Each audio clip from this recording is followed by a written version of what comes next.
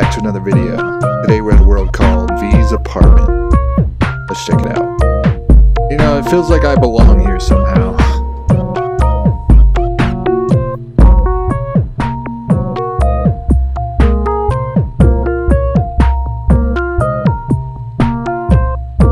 Now there is a toilet here, even though it is VR, and uh, yeah, if you know, you know. What should I get?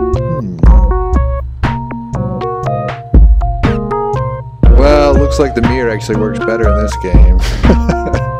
Let's see what they got going on on the net, man.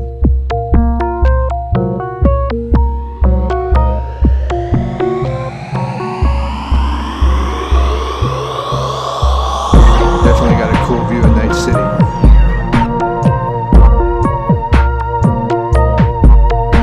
thanks for watching. I'm Codeadvanced, and until next time.